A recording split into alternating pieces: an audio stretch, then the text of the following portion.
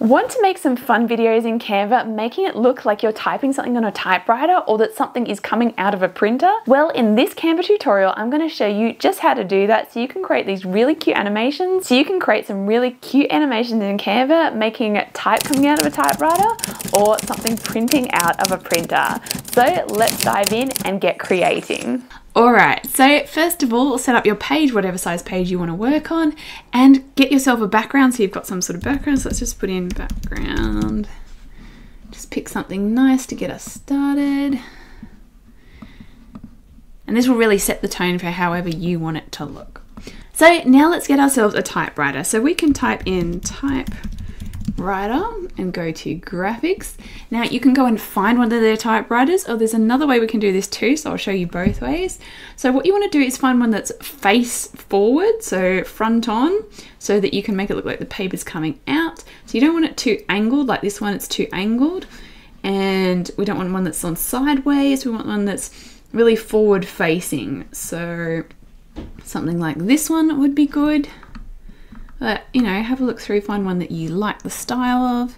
So things like this are really great because it's just forward facing, making it super simple because we just want that flat paper. So another way we can do it if we don't want to use one of the ones already there, maybe you want something that's a bit unique that no one else has, is you can come into Elements and under the AI image generator, generate your own. Now this is in the updated version of Canva, which rolls out to everyone in August 2024, but if you've already updated your Canvas, you've got the new one, or it or it's after August 2024, you will have this. But if it's before that time and you missed that rollout, you weren't one of the first 1 million people to get this new update, you may not have that yet. So you can just use the elements already there. But this is a really fun way to have something that's unique that not everyone else has. So what you want to do here is go to that middle one, graphics. Now you can choose your style. So we can press see all here and look at all the different styles. So you can think, well, what style do I want my typewriter to look like? So say we want a real vintagey style. So we can put in front facing typewriter. Now you can always give it even more. So let's say we want one that's light blue. So maybe we could add that light blue front facing typewriter. And now we're going to generate images and see what it creates for us. So this is really cool because then you get something unique that not everybody else has. And this is also handy too if you just want to create something that you can't find in Elements. You can give it a prompt and get what you want. All right, so as you can see, sometimes it's not going to work out perfectly either. So here, because it's vintage, it's decided to go for these vintagey colors rather than the blue we asked for, and it didn't make it front facing. So do keep in mind that it may not always be perfect. So maybe we will say, well, that didn't quite work out. Let's try the risograph version instead because it's still got a vintagey feel to it. And let's try again using that. So sometimes you will have to redo things if it's not giving you exactly what you want. Don't think that this is perfect and you'll get the exact thing you're after every time. Sometimes you have to tweak your prompt, tweak the style, or even just tell it to generate again until you get what you're after. So let's try again and see what we get. So this is looking a bit more like what we were after now. So as you can see, we've got some more that are more front facing and we've got the blue that we were after. And it's got that vintagey style. So maybe we might go this one actually. So we can put that on our page now. And it's definitely got that cool feel that I was looking for, a bit of a vintagey, arty type feel, and the blue. So that's really cool. So the next thing we want is our paper. So we're going to go to elements again and we're going to go grab a square to be our paper. Now, if your image has a piece of paper already in it, then you're going to want to start at the size that paper is. If yours doesn't, then you can make it as low down as you'd like to begin. So we're going to make it cover that, so that way we don't see that thing underneath. We're going to choose the color of our paper. So let's say we just want white piece of paper for this. Now we want to choose here the thumbnail view so you can actually see all your slides as you're animating. So we're going to put in our first one and we're going to add our first bit of text. So we grab a bit of text and we're going to put it left aligned because when we write something with a typewriter it starts left aligned. So you're going to fit it in there and then you're going to want to choose a typewriter font. So if we go to see all in fonts and we type in typewriter typewriter. It's going to give us some different typewriter fonts so you can find one that you like the style of. So I think this one Special Elite really suits the style of typewriter I've got here. So depending on what kind of typewriter you have too, you might want something that's a bit more clean, a bit more messy. Well, these ones here too are good. So these ones are pro, so not everyone would have access to them, but you can play around and find the font that you really like the style of. Now we're going to put in our first line of text. So we think about it as you write with a typewriter, you write one whole line, you put the paper up, then you write the next line. So the first thing we want to do is that first line. So we want to make sure it fits. So if you decide to make it sentences so it's easy for people to read as it comes up, you want to adjust the size so that it goes in there. So now we're going to animate that text to look like it's being typed on. So we're going to go to animate. So make sure you click on the text, animate, and then you're going to choose here typewriter. So it looks like it's writing it on and we only want it to happen on enter, so only once. And you can play with the speed too. So if you want it to speed up a bit and write a bit quicker, you can do that. Right, so now we want our next slides. So we're going to duplicate this page so it stays the same. But now we're going to rise this up so it looks like it's going up. And we're going to move our text up too. So now we can add our next piece of text. You may just want to duplicate that text and then write your next line. And again, we want to make sure that we have that animation on it. So because I duplicated it, it held that animation, which is handy because you're not having to redo it every time. And we go again. So now we go duplicate page, we can do our next line in there and we want to pull this up and move all these up again so it looks like it's all going up. And you basically want to do this again and again until you've got all the text that you want in there. So it really depends on what you're writing, what this is about, how much text you want to happen. So this is really up to you what you do with this. If you want something just very quick and just a few lines, if you want something a little bit longer, Keep in mind that we don't want to do pages and pages because we're just making one page that goes up and up.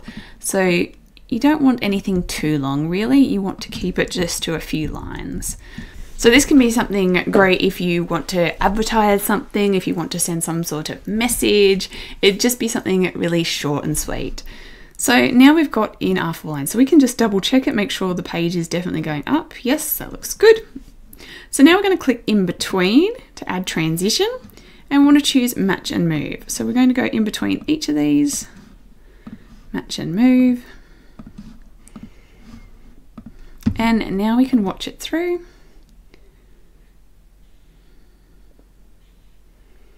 So you can notice speed now. As you watch it through, you can notice, do I need to speed this up? So depending on, you know, how fast you made your type come and all those sort of things, you might think, okay, this is looking good, but maybe we need to speed it up a little. It's going a little bit slow.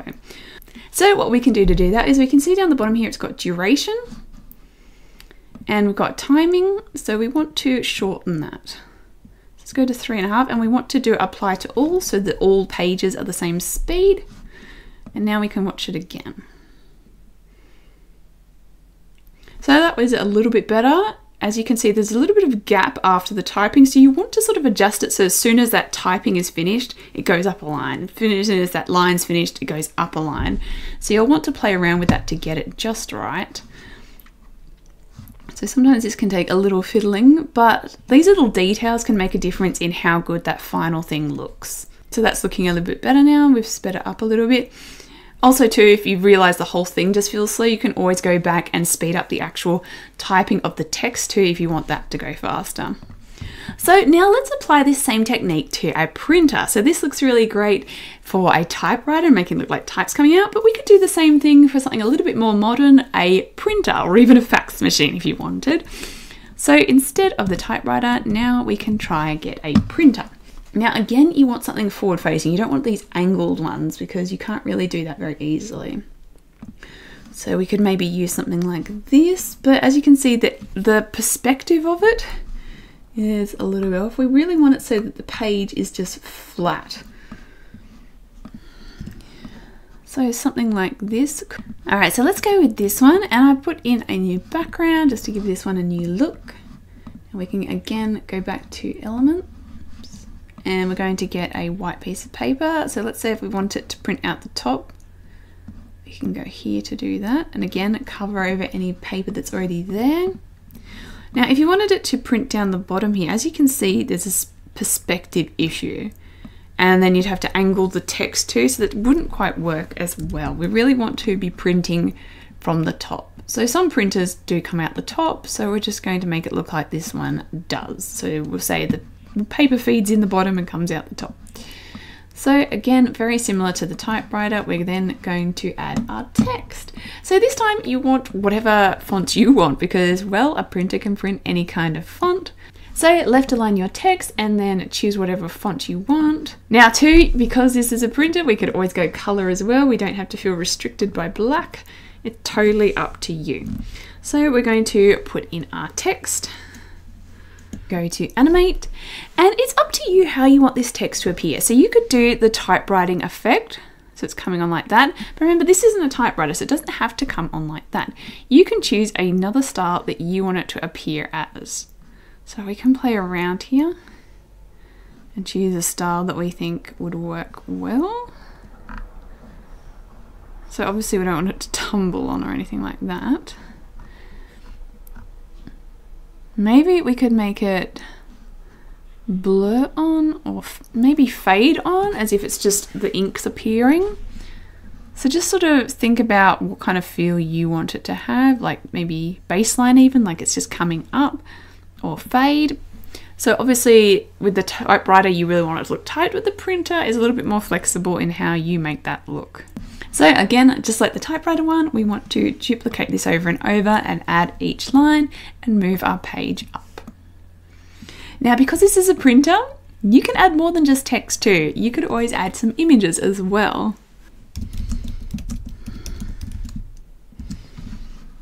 And let's add an image as well this time for fun. So let's say our event was for a picnic. So we're going to add a little picture to give people a clue. And of course you want to make sure that animates too, so that appears, maybe fades. All right, so then you'd want to go through each one in between them and do the match and move. So uh, mine stayed there because I've gone and reused the pages from earlier. And we also want to go to duration and make sure that they all have the same duration on them. Now let's watch it through and see how this looks.